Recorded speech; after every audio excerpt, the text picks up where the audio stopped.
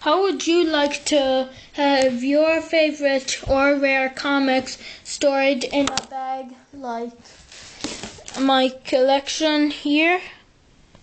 If so, please watch this video. Um, first things first, you need a bag, clear bag, GI uh, comic book. In this case, we have GI Joe: Rise of the Cobra. Some sellotape, and that's pretty much all you need. So open up your bag.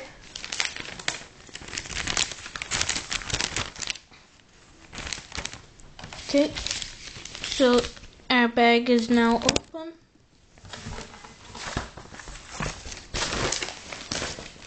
Insert the comic into the bag bottom first.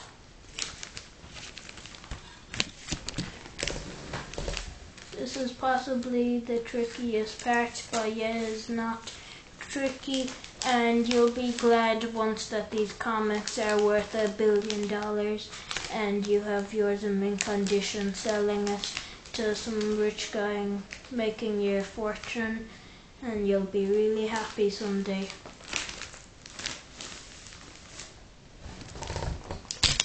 The average comic should fit snugly.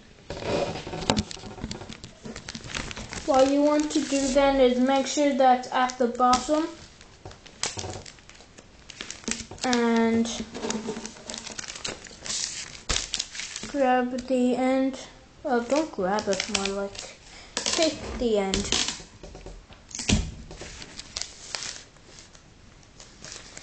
Take the two ends down, the two tiny pieces of tape.